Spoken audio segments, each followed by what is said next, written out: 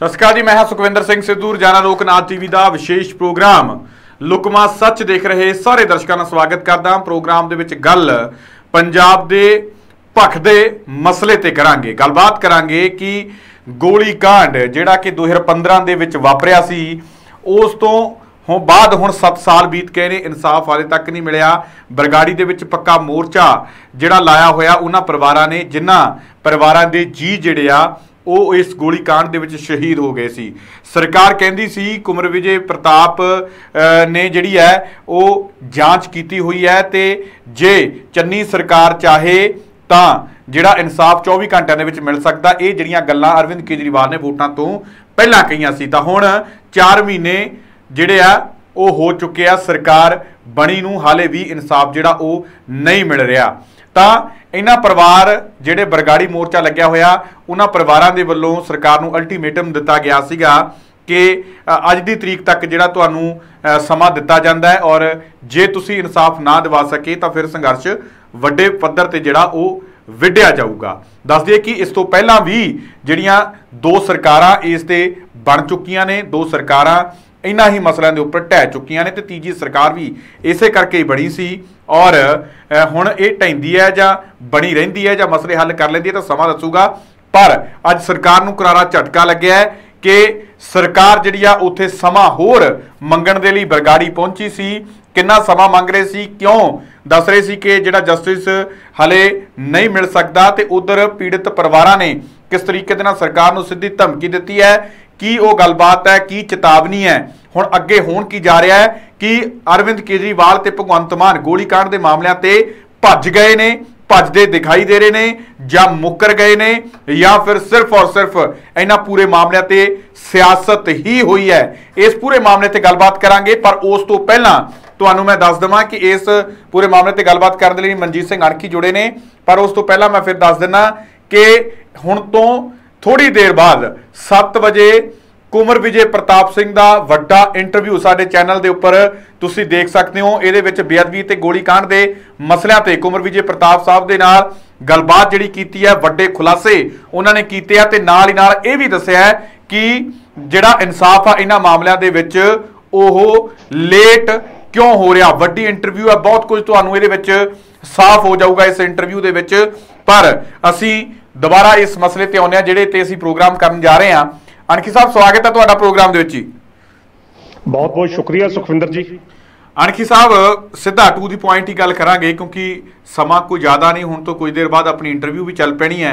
ਮੈਂ ਚਾਹੁੰਦਾ ਕਿ ਉਸ ਤੋਂ। ਪਹਿਲਾਂ ਜਲਦ ਤੋਂ ਜਲਦ ਘੱਟ ਸਮੇਂ ਦੇ ਵਿੱਚ ਆਪਾਂ ਗੱਲ ਮੁਕਾਉਂਦੇ ਹਾਂ। ਆਪਣੇ ਦਰਸ਼ਕਾਂ ਨੂੰ। ਦੱਸ ਦਈਏ ਅੱਜ ਅਲਟੀਮੇਟਮ ਖਤਮ ਹੋਇਆ ਜਿਹੜਾ ਸਰਕਾਰ ਨੂੰ ਦਿੱਤਾ ਗਿਆ ਸੀ ਬਰਗਾੜੀ ਕਾਂਡ ਦੇ ਪੀੜਤ ਪਰਿਵਾਰਾਂ ਦੇ ਵੱਲੋਂ ਗੋਲੀ ਕਾਂਡ ਦੇ ਪੀੜਤ ਪਰਿਵਾਰਾਂ ਦੇ ਵੱਲੋਂ। ਤੇ ਉਹ ਅਲਟੀਮੇਟਮ ਖਤਮ ਹੋਣ ਦੇ ਕਰਕੇ ਅੱਜ ਸਰਕਾਰ ਜਿਹੜੀ ਆ ਉੱਥੇ ਪਹੁੰਚੀ ਸੀ। ਪਤਾ ਲੱਗਿਆ ਕਿ ਜਿਹੜੀ ਸਰਕਾਰ 24 ਘੰਟਿਆਂ ਦਾ ਸਮਾਂ ਮੰਗਦੀ ਸੀਗੀ ਕਿ 24 ਘੰਟਿਆਂ ਦੇ ਵਿੱਚ ਇਨਸਾਫ ਦਿੱਤਾ ਜਾ ਸਕਦਾ ਹੈ, ਅੱਜ ਉਹੀ ਸਰਕਾਰ 4 ਮਹੀਨਿਆਂ ਦਾ ਸਮਾਂ ਬੀਤ ਜਾਣ ਤੋਂ ਬਾਅਦ ਵੀ ਜਿਹੜੀ 24 ਘੰਟਿਆਂ ਦੀ ਗੱਲ ਕਰਦੇ ਸੀ 4 ਮਹੀਨਿਆਂ ਦਾ ਸਮਾਂ ਬੀਤ ਜਾਣ ਤੋਂ ਬਾਅਦ ਵੀ ਪਤਾ ਲੱਗਿਆ ਕਿ 6 ਮਹੀਨੇ ਹੋਰ ਮੰਗਣ ਦੇ ਲਈ ਉੱਥੇ ਪਹੁੰਚੇ ਸੀ ਤੇ ਪੀੜਿਤ ਪਰਿਵਾਰ ਨੇ ਅੱਗੋਂ ਇਹ ਗੱਲ ਕਹਿਤੀ, ਉਥੋਂ ਮੋਰਚੇ ਨੇ ਇਹ ਗੱਲ ਕਹਿਤੀ ਕਿ ਅਸੀਂ ਤੁਹਾਨੂੰ ਸਮਾਂ ਨਹੀਂ ਦੇਣਾ। 31 ਜੁਲਾਈ ਨੂੰ ਵੱਡੇ ਇਕੱਠ ਦਾ ਐਲਾਨ ਕੀਤਾ ਗਿਆ, ਕਾਲ ਦਿੱਤੀ ਗਈ ਹੈ ਤੇ 31 ਜੁਲਾਈ ਨੂੰ ਜਿਹੜਾ ਉੱਥੇ ਵੱਡਾ ਸੰਘਰਸ਼ ਵਿੱਢਿਆ ਜਾਣਾ, ਕਿਵੇਂ ਦੇਖਦੇ ਹੋ?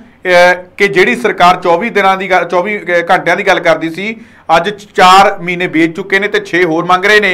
10 ਮਹੀਨੇ ਇਹ ਲਾ ਲਓ 6 ਮਹੀਨਿਆਂ ਬਾਅਦ ਵੀ ਪਤਾ ਨਹੀਂ ਇਨਸਾਫ ਮਿਲਣਾ ਕਿ ਨਹੀਂ ਮਿਲਣਾ, ਤਾਂ ਕਿੱਥੇ 24 ਘੰਟੇ, ਕਿੱਥੇ 10 ਮਹੀਨੇ ਤਾਂ ਕਿਵੇਂ ਦੇਖਦੇ ਹੋ ਅਰਵਿੰਦ ਕੇਜਰੀਵਾਲ ਤੇ ਭਗਵੰਤ ਮਾਨ ਆਪਣੀ ਗੱਲ ਤੋਂ ਭੱਜ ਰਹੇ ਨੇ ਮੁੱਕਰ ਰਹੇ ਨੇ ਜਾਂ ਸਿਰਫ ਔਰ ਸਿਰਫ ਸਿਆਸਤ ਹੋ ਰਹੀ ਹੈ?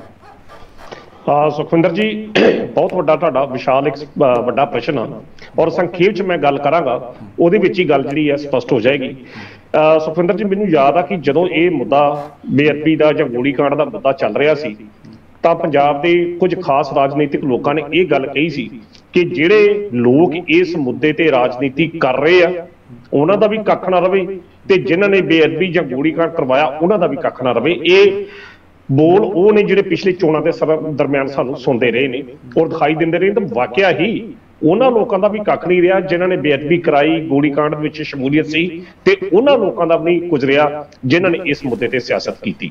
ਇਹ ਇੱਕ ਜਵਾਬ ਹੈਗਾ। ਹੁਣ ਸਿੱਧਾ ਪ੍ਰਸ਼ਨ ਤੁਹਾਡੇ ਸਵਾਲ ਦਾ ਜਵਾਬ ਜਵਾਬ ਦੇਣ ਲੱਗਾ ਕਿ ਜਿਸ ਤਰੀਕੇ ਨਾਲ ਤੁਸੀਂ ਗੱਲ ਕੀਤੀ ਕਿ ਇਹ ਆਮ ਆਦਮੀ ਪਾਰਟੀ ਦੀ ਉਹ ਸਰਕਾਰ ਆ, ਜਿਹੜੀ ਕਵਰ ਵਿਜੇ ਪ੍ਰਤਾਪ ਸਿੰਘ ਨੂੰ ਆਧਾਰ ਬਣਾ ਕੇ ਕਹਿੰਦੀ ਸੀ ਕਿ ਦੇਖੋ ਇਹ ਉਹ ਅਫਸਰ ਨੇ ਜਿਨ੍ਹਾਂ ਨੇ ਉਸ ਗੋਲੀकांड ਦੀ ਜਾਂਚ ਕੀਤੀ ਆ ਤੇ ਜੇਕਰ ਚਰਨਜੀਤ ਸਿੰਘ ਚੰਨੀ ਵਾਕਿਆ ਹੀ ਇਸ ਮੁੱਦੇ ਤੇ ਗੰਭੀਰ ਹੋਣ ਤੇ 24 ਘੰਟਿਆਂ 'ਚ ਉਹਦਾ ਜਿਹੜੇ ਸੰਬੰਧਤ ਦੋਸ਼ੀ ਨੇ ਫੜ ਕੇ ਅੰਦਰ ਕੀਤਾ ਜਾ ਸਕਦਾ। ਪਰ ਚੰਨੀ ਸਰਕਾਰ ਨੇ ਕੀਤਾ ਨਹੀਂ। ਕਬਰ ਵਿਜੇ ਪ੍ਰਤਾਪ ਸਿੰਘ ਹੁਣੀ ਨੌਕਰੀ ਛੱਡ ਕੇ ਘਰ ਬੈਠ ਕੇ ਬਾਅਦ 'ਚ ਉਹਨਾਂ ਨੇ ਆਮ ਆਦਮੀ ਪਾਰਟੀ ਜੁਆਇਨ ਕੀਤੀ ਤੇ ਇੱਕ ਤਗੜਾ ਹਲਾਰਾ ਜਿਹੜਾ ਸੀ ਆਮ ਆਦਮੀ ਪਾਰਟੀ ਨੂੰ ਦਵਾਇਆ ਕਬਰ ਵਿਜੇ ਪ੍ਰਤਾਪ ਸਿੰਘ ਹੋਣਾ ਨੇ, ਕਿਉਂਕਿ ਲੋਕਾਂ ਨੂੰ ਇਸ ਗੱਲ ਦੀ ਆਸ ਸੀ ਕਿ ਕਬਰ ਵਿਜੇ ਪ੍ਰਤਾਪ ਸਿੰਘ ਹੁਣੀ ਉਹ ਸਾਰੇ ਮੁੱਦੇ ਦੀ ਜਾਂਚ ਕਰਨ ਵਾਲੇ ਅਧਿਕਾਰੀ ਨੇ ਤੇ ਜੇਕਰ ਆਮ ਆਦਮੀ ਪਾਰਟੀ ਦੀ ਸਰਕਾਰ ਬਣਦੀ ਆ ਤਾਂ ਫਿਰ ਕੁਦਰਤੀ ਤੌਰ ਤੇ ਇਨਸਾਫ ਮਿਲੇਗਾ। ਤੇ ਲੋਕਾਂ ਨੇ ਕਬਰ ਵਿਜੇ ਪ੍ਰਤਾਪ ਸਿੰਘ ਦੇ ਮੂੰਹ ਨੂੰ ਜਾਂ ਉਹਨਾਂ ਨੂੰ ਆਧਾਰ ਬਣਾ ਕੇ ਇੱਕ ਜ਼ਬਰਦਸਤ ਫਤਵਾ ਜਿਹੜਾ ਆਮ ਆਦਮੀ ਪਾਰਟੀ ਨੂੰ ਦਿੱਤਾ ਇਹ ਗੱਲ ਕੋਈ ਵੀ ਵਿਅਕਤੀ ਇਨਕਾਰ ਜਿਹੜਾ ਇਸ ਗੱਲ ਤੋਂ ਨਹੀਂ ਕਰ ਸਕਦਾ। ਸਰਕਾਰ ਬਣੀ ਤੇ ਉਹ ਕਬਰ ਵਿਜੇ ਪ੍ਰਤਾਪ ਸਿੰਘ ਇਸ ਪਾਰਟੀ ਦੇ ਵਿਧਾਇਕ ਬਣੇ। ਲੋਕਾਂ ਨੂੰ ਆਸ ਸੀ ਕਿ ਹੁਣ ਇਨਸਾਫ ਮਿਲੂਗਾ। ਪਰ ਆਮ ਆਦਮੀ ਪਾਰਟੀ ਵੀ ਦੂਜੀਆਂ ਪਾਰਟੀਆਂ ਵਾਂਗੂ ਹੀ ਇਸ ਮੁੱਦੇ ਤੇ ਰਾਜਨੀਤੀ ਕਰਨੀ ਸ਼ੁਰੂ ਕਰ ਦਿੱਤੀ। ਪਹਿਲਾਂ ਜਦੋਂ ਮੋਰਚਾ ਲੱਗਾ, ਮੋਰਚਾ ਸ਼ੁਰੂ ਹੋਇਆ, ਉਸ ਤੋਂ ਬਾਅਦ ਜਿਹੜੇ ਇਹਨਾਂ ਦੀ ਟੀਮ ਸੀ, ਵਕੀਲਾਂ ਦੀ ਟੀਮ ਮੋਰਚੇ ਪਾਸ ਗਈ ਤੇ ਇਹਨਾਂ ਨੇ ਇੰਨੀ ਗੱਲ ਕਹੀ ਕਿ 3 ਮਹੀਨੇ ਦਾ ਸਮਾਂ ਦਿਓ। ਅਸੀਂ ਤੁਹਾਨੂੰ ਸਾਰੀ ਜਾਣਕਾਰੀ 3 ਦਿਨਾਂ ਬਾਅਦ ਦਿਆ ਕਰਾਂਗੇ। ਮੋਰਚੇ ਦੇ ਜਿਹੜੇ ਕਾਰਕੁਨ ਸਨ, ਇਸ ਗੱਲ ਨਾਲ ਸਹਿਮਤ ਹੋ ਗਏ ਸਰਕਾਰ ਦੀ ਇਸ ਗੱਲ ਦੇ ਨਾਲ 3 ਮਹੀਨੇ ਦਾ ਸਮਾਂ ਬੀਤਿਆ, ਫਿਰ 15 ਦਿਨਾਂ ਦਾ ਸਮਾਂ ਹੋਰ ਲਿਆ ਗਿਆ, ਜਿਹੜਾ ਅੱਜ ਵਾਪਰਦਾ 23 ਤਰੀਕ ਨੂੰ ਜਿਹੜਾ ਖਤਮ ਹੋਣਾ ਸੀ। ਤੇ ਜਦੋਂ ਉਸ ਸਮੇਂ ਦੇ ਦਰਮਿਆਨ ਵੀ ਕੋਈ ਇਨਸਾਫ ਦੀ ਗੱਲ ਨਹੀਂ ਹੋਈ ਤੇ ਅੱਜ ਹਰਜੋਤ ਬੈਂਸ ਹੋਣੀ ਉੱਥੇ ਪਹੁੰਚਦੇ ਨੇ ਤੇ ਜਾ ਕੇ ਉੱਥੇ 6 ਮਹੀਨੇ ਦਾ ਸਮਾਂ ਮੰਗਦੇ ਨੇ। ਬਹੁਤ ਸੋਹਣੀ ਤੁਸੀਂ ਗੱਲ ਕੀਤੀ ਕਿ 6 ਮਹੀਨਿਆਂ ਬਾਅਦ ਵੀ ਪਤਾ ਨਹੀਂ ਇਨਸਾਫ ਹੋਣਾ ਜਾਂ ਨਹੀਂ ਹੋਣਾ, ਪਰ ਗਿਣਤੀ ਜਿਹੜੀ ਆ ਦਿਨਾਂ ਦੀ, ਉਹ 10 ਮਹੀਨਿਆਂ ਦੀ ਹੋ ਜਾਣੀ ਆ, ਤਾਂ ਫਿਰ ਉਹ ਸਾਲਾਂ 'ਚ ਵੀ ਬਦਲ ਸਕਦੀ ਆ।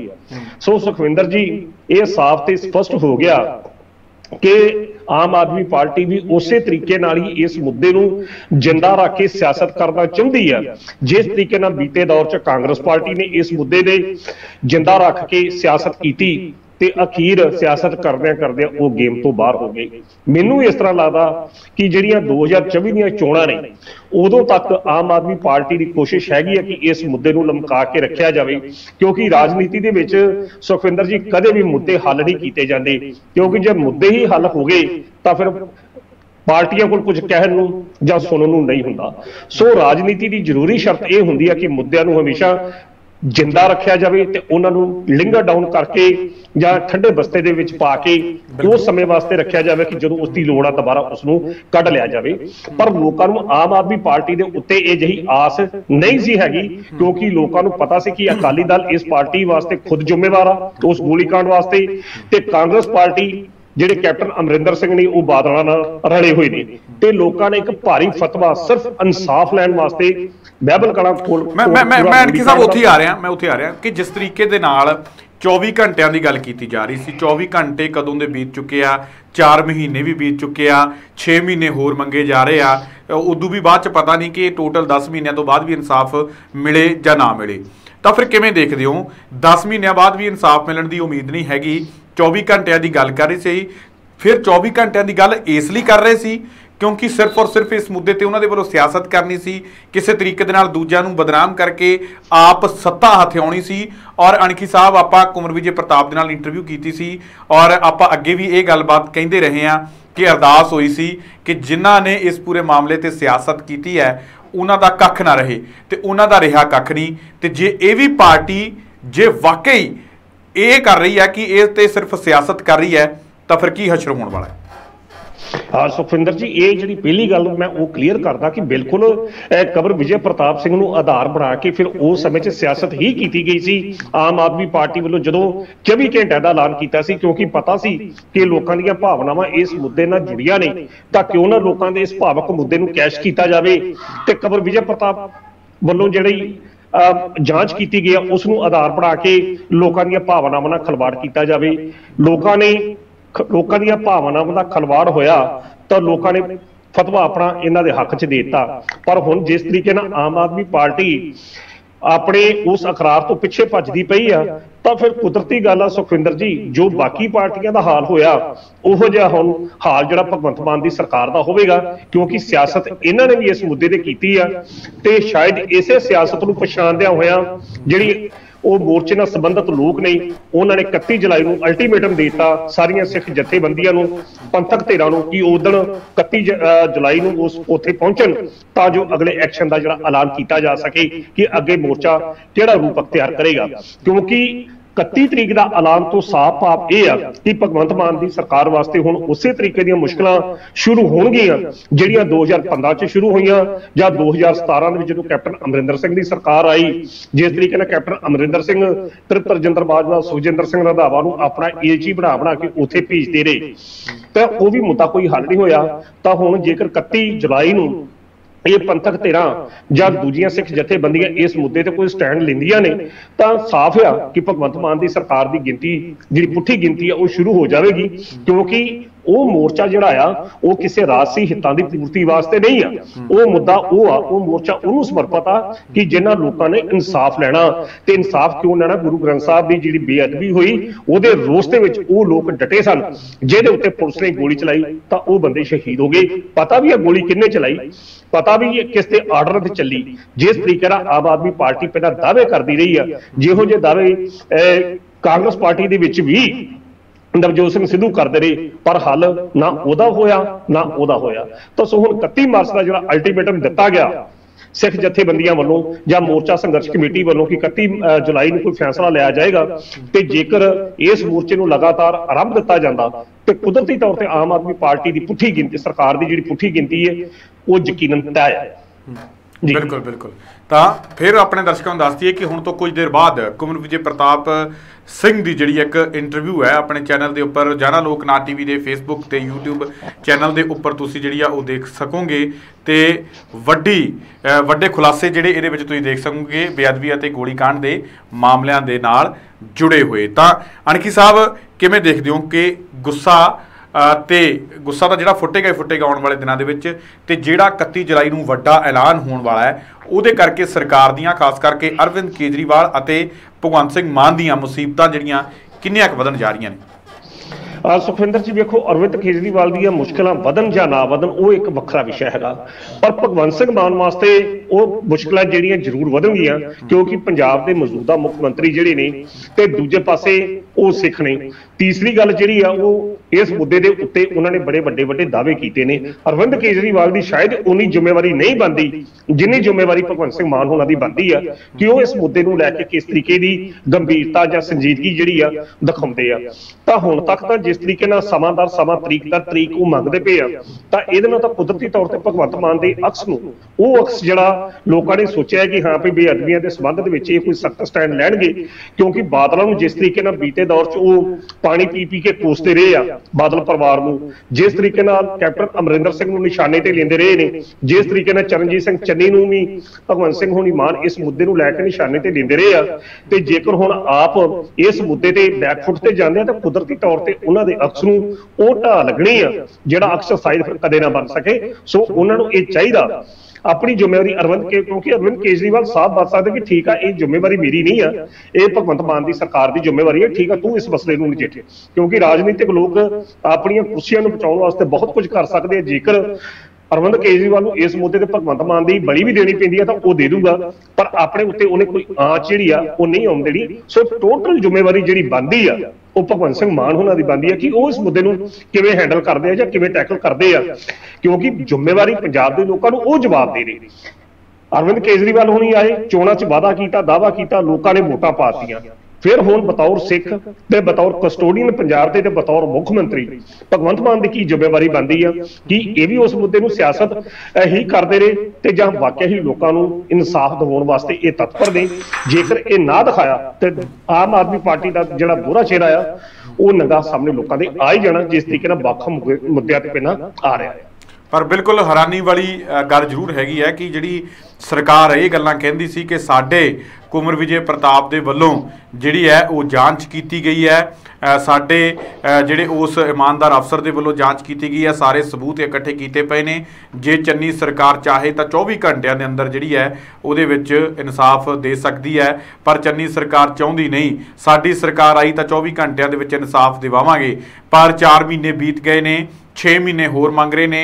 ਟੋਟਲ 10 ਮਹੀਨਿਆਂ ਦਾ ਜਿਹੜਾ ਸਮਾਂ ਹੈ, ਪਰ ਉਸ 10 ਮਹੀਨਿਆਂ ਤੋਂ ਬਾਅਦ ਵੀ ਪਤਾ ਨਹੀਂ ਕਿ ਇਨਸਾਫ ਮਿਲੂਗਾ ਜਾਂ ਨਹੀਂ ਮਿਲੂਗਾ। ਇਹ ਵੀ ਗੱਲ ਜਿਹੜੀ ਆ ਉਹ ਦੇਖਣ ਵਾਲੀ ਆ, ਪਰ ਫਿਲਹਾਲ ਬਰਗਾੜੀ ਮੋਰਚੇ ਤੇ ਬੈਠੇ ਲੋਕਾਂ ਦੇ ਵੱਲੋਂ ਇਹ ਗੱਲ ਕਹਿ ਦਿੱਤੀ ਗਈ ਹੈ ਕਿ ਅਸੀਂ ਸਰਕਾਰ ਨੂੰ ਕੋਈ ਸਮਾਂ ਜਿਹੜਾ ਉਹ ਨਹੀਂ ਦੇਾਂਗੇ ਨਾਲ ਹੀ ਨਾਲ ਉਹਨਾਂ ਨੇ ਇਹ ਵੀ ਗੱਲ ਦਾ ਐਲਾਨ ਕਰ ਦਿੱਤਾ ਹੈ ਕਿ 31 ਜੁਲਾਈ ਨੂੰ ਬਰਗਾੜੀ ਮੋਰਚੇ ਦੇ ਉੱਪਰ ਵੱਡਾ ਇਕੱਠ ਦੀ ਕਾਲ ਜਿਹੜੀ ਹੈ ਕੀਤੀ ਗਈ ਹੈ ਤੇ ਉਸ ਇਕੱਠ ਦੇ ਵਿੱਚੋਂ ਜਿਹੜੀ ਹੈ ਇੱਕ ਵੱਡਾ ਫੈਸਲਾ ਲਿਆ ਲਿਆ ਜਾਊਗਾ ਕਿ ਅੱਗੇ ਸੰਘਰਸ਼ ਜਿਹੜਾ ਕਿਸ ਤਰੀਕੇ ਦੇ ਨਾਲ ਵਿੜਨਾ। ਪਰ ਸਰਕਾਰ ਨੂੰ ਮੌਲਤ ਟਾਈਮ ਆ ਜਿਹੜਾ ਇਨਸਾਫ ਦਿਵਾਉਣ ਦੇ ਲਈ ਉਹ ਜਿਹੜਾ ਉਹ ਖਤਮ ਹੋ ਚੁੱਕਿਆ ਤੇ ਨਾ ਹੀ ਉਹਨਾਂ ਦੇ ਵੱਲੋਂ ਅੱਗੇ ਟਾਈਮ ਜਿਹੜਾ ਦਿੱਤਾ ਜਾ ਰਿਹਾ ਕਿਉਂਕਿ ਮੰਤਰੀ ਉੱਥੇ ਗਏ ਸੀ ਟੀਮ ਉੱਥੇ ਗਈ ਸੀਗੀ ਤਾਂ ਹੁਣ ਦੇਖਣ ਵਾਲੀ ਗੱਲ ਹੋਊਗੀ ਕਿ 31 ਜੁਲਾਈ ਨੂੰ ਕੀ ਫੈਸਲਾ ਆਉਂਦਾ ਹੈ। ਭਗਵੰਤ ਮਾਨ, ਕੇਜਰੀਵਾਲ ਜਿਹੜੇ ਆ, ਕਿੰਨੀ ਕੁ ਮੁਸੀਬਤ ਦੇ ਵਿੱਚ ਫਸਦੇ ਨੇ? ਆਮ ਆਦਮੀ ਪਾਰਟੀ ਦੀ ਸਰਕਾਰ ਕਿੰਨੀ ਕੁ ਮੁਸੀਬਤ ਦੇ ਵਿੱਚ ਫਸਦੀ ਹੈ? ਪਰ ਫਿਲਹਾਲ ਜਿਹੜੀ ਆਪਾਂ ਜ਼ਰੂਰ ਅਣਖੀ ਸਾਹਿਬ ਕਹਿ ਸਕਦੇ ਹਾਂ ਕਿ 31 ਜੁਲਾਈ ਨੂੰ ਕੀ ਫੈਸਲਾ ਲੈਂਦਾ ਬਰਗਾੜੀ ਮੋਰਚਾ, ਉਹ ਇੱਕ ਵੱਖਰੀ ਚੀਜ਼ ਆ। ਪਰ ਫਿਲਹਾਲ 31 ਜੁਲਾਈ ਤੋਂ ਪਹਿਲਾਂ ਵੀ ਮੁਸ਼ਕਲਾਤਾਂ ਜਿਹੜੀਆਂ ਪੂਰਨ ਤਰੀਕੇ ਦੇ ਨਾਲ ਵੱਧ ਗਈਆਂ ਹੋਣਗੀਆਂ ਆਪ ਸਰਕਾਰ ਦੀਆਂ। ਤਾਂ ਬਿਲਕੁਲ ਕਿਉਂਕਿ ਅੱਜ ਜਿਸ ਤਰੀਕੇ ਨਾਲ ਹਰਜੋਤ ਬਾ- ਬੈਂਸ ਬੇਰੰਗ ਵਾਪਸ ਆਏ ਨੇ ਤਾਂ ਕੁਦਰਤੀ ਤੌਰ ਤੇ ਅ, ਸਰਕਾਰ ਦੀਆਂ ਜਿਹੜੀਆਂ ਮੁਸ਼ਕਲਾਂ ਵਧਣਗੀਆਂ ਹੀ ਵਧਣਗੀਆਂ ਕਿਉਂਕਿ ਸਰਕਾਰ ਸ਼ਾਇਦ ਇਸ ਮਸਲੇ ਨੂੰ ਠੰਡੇ ਵਸਤੇ ਦੇ ਪਾਉਣ ਦੇ ਮੂਡ 'ਚ ਹੀ ਕਿ ਦੂਜੀ ਜਿਹੜੇ ਮੋਰਚੇ ਬਰਗਾੜੀ ਮੋਰਚੇ ਦੇ ਜਿਹੜੇ ਲੋਕ ਬੈਠੇ ਨੇ, ਉਹਨਾਂ ਨੂੰ ਗੱਲਾਂ ਦੇ ਵਿੱਚ ਲੈ ਕੇ 6 ਮਹੀਨੇ ਦਾ ਸਮਾਂ ਲੈ ਲਿਆ ਜਾਵੇ, ਤਾਂ ਜੋ ਜਿਹੜਾ ਇਸ ਮਸਲੇ ਨੂੰ ਕਿਸੇ ਹੋਰ ਤਰੀਕੇ ਦੇ ਨਾਲ ਨਜਿੱਠਿਆ ਜਾਵੇ ਜਾਂ ਇਸ ਮੁੱਦੇ ਨੂੰ ਹੋਰ ਲਮਕਾਇਆ ਜਾਵੇ। ਪਰ ਹੁਣ ਜਿਸ ਤਰੀਕੇ ਨਾਲ ਬਰਗਾੜੀ ਮੋਰਚੇ 'ਚ ਬੈਠੇ ਲੋਕਾਂ ਨੇ ਆਪਣਾ ਸਖਤ ਸੁਨੇਹਾ ਸਪਸ਼ਟ ਰੂਪ 'ਚ ਦੇ ਦਿੱਤਾ ਤੇ ਨਾਲ ਹੀ ਉਹਨਾਂ ਨੇ 31 ਜੁਲਾਈ ਨੂੰ ਇਕੱਠ ਦਾ ਐਲਾਨ ਕਰ ਦਿੱਤਾ। ਤਾਂ ਇਸ ਤੋਂ ਸਾਫ਼ ਜ਼ਾਹਿਰ ਹੁੰਦਾ ਕਿ ਭਗਵੰਤ ਮਾਨ ਦੀਆਂ ਸਰਕਾਰ ਦੀਆਂ ਮੁਸ਼ਕਲਾਂ ਜ਼ਰੂਰ ਵਧਣਗੀਆਂ। ਸਰਕਾਰ ਹੁਣ ਹੋ ਸਕਦਾ ਕਿ ਇਹਨਾਂ ਦਿਨਾਂ ਦੇ ਵਿੱਚ 31 ਜੁਲਾਈ ਤੱਕ ਕੋਈ ਸਮਝੌਤੇ ਦਾ ਰਸਤਾ ਅਪਣਾਉਂਦਿਆਂ ਹੋਇਆਂ ਕੁਝ ਧਾਰਮਿਕ ਆਗੂਆਂ ਨੂੰ ਵਿੱਚ ਪਾਵੇ। ਜਿਸ ਤਰੀਕੇ ਨਾਲ ਕਾਂਗਰਸ ਪਾਰਟੀ ਪਾਉਂਦੀ ਰਹੀ ਆ ਹੋ ਸਕਦਾ ਕਾਂਗਰਸ ਅ, ਆਮ ਆਦਮੀ ਪਾਰਟੀ ਦੇ ਕੁਝ ਮੰਤਰੀ ਸਿੱਖ ਲੀਡਰਾਂ ਨੂੰ ਧਾਰਮਿਕ ਪੰਥਕ ਧਿਰਾਂ ਨੂੰ ਲੈ ਕੇ ਉਹਨਾਂ ਨਾਲ ਵਿਚਕਾਰਲਾ ਸਮਝੌਤੇ ਦਾ ਕੋਈ ਵਿਚਕਾਰਲਾ ਰਸਤਾ ਲੱਭਣ, ਜਿਸ ਤਰੀਕੇ ਨਾਲ ਕੈਪਟਨ ਅਮਰਿੰਦਰ ਸਿੰਘ ਹੋਣਾ ਨੇ ਵੀ ਉਸ ਵਕਤ ਬਲਜੀਤ ਸਿੰਘ ਦਾਦੂਵਾਲ ਹੋਣਾ ਦਾ ਵੀ ਕਾਫੀ ਰੌਲਾ ਰੱਪਾ ਉਹਨਾਂ ਦਿਨਾਂ 'ਚ ਪਿਆ ਸੀ। ਪਰ ਹੁਣ 31 ਜੁਲਾਈ ਤੱਕ ਸਰਕਾਰ ਵਾਸਤੇ ਜਿਹੜੇ ਦਿਨ ਨੇ, ਇਹ ਅਗਨੀ ਪ੍ਰੀਖਿਆ ਦੇ ਦਿਨ ਹੋਣਗੇ ਕਿ ਕਿਸ ਤਰੀਕੇ ਨਾਲ 31 ਜੁਲਾਈ ਨੂੰ ਸਿੱਖ ਜਥੇਬੰਦੀਆਂ ਦਾ ਇਕੱਠ ਹੋਣ ਦੇ ਵਿੱਚ ਬਰਗਾਰੀ ਮੋਰਚਾ ਸਫਲ ਹੁੰਦਾ ਜਾਂ ਸਰਕਾਰ ਉਹਨਾਂ ਨੂੰ ਸ਼ੀਸ਼ੇ 'ਚ ਉਤਾਰ ਦਿੰਦੀ ਆ, ਇਹ ਬਸ ਹੁਣ ਆਉਣ ਵਾਲੇ ਦਿਨਾਂ 'ਚ ਪਤਾ ਲੱਗੇਗਾ। ਬਾਕੀ ਇਹ ਦਿਨ ਜਿਹੜੇ ਨੇ ਸਾਫ਼ ਤੌਰ ਤੇ ਆ ਭਗਵੰਤ ਮਾਨ ਦੀ ਸਰਕਾਰ ਵਾਸਤੇ ਚਿੰਤਾ ਭਰੇ ਹੂੰ। ਜੀ। ਤੇ ਜੁੜੇ ਤੁਹਾਡਾ ਬਹੁਤ ਬਹੁਤ ਧੰਨਵਾਦ। ਬਹੁਤ ਬਹੁਤ ਸ਼ੁਕਰੀਆ ਸੁਖਵਿੰਦਰ ਜੀ। ਰਾਜਸਥਾਨ ਪ੍ਰੋਫੈਸਰ ਮਨਜੀਤ ਸਿੰਘ ਅਣਖੀ ਸਾਹਿਬ ਜਿਨ੍ਹਾਂ ਦੇ ਵੱਲੋਂ ਇਸ ਅਹਿਮ ਮੁੱਦੇ ਦੇ ਉੱਪਰ ਸਾਡੇ ਨਾਲ ਗੱਲਬਾਤ ਕਰਕੇ ਜਿਹੜੀ ਹੈ ਉਹ ਤੁਹਾਡੇ ਤੱਕ ਅਹਿਮ ਜਾਣਕਾਰੀ ਪਹੁੰਚਾਈ ਗਈ ਹੈ। ਉਮੀਦ ਕਰਦੇ ਹਾਂ ਕਿ ਅਣਖੀ ਸਾਹਿਬ ਦੇ ਕੀਮਤੀ ਵਿਚਾਰ ਤੁਹਾਨੂੰ ਜ਼ਰੂਰ ਪਸੰਦ ਆਏ ਹੋਣਗੇ। ਦੁਬਾਰਾ ਫਿਰ ਮਿਲਾਂਗੇ ਇਸ ਪ੍ਰੋਗਰਾਮ ਵਿੱਚ। ਤਦ ਤੱਕ ਦਿਓ ਇਜਾਜ਼ਤ। ਧੰਨਵਾਦ।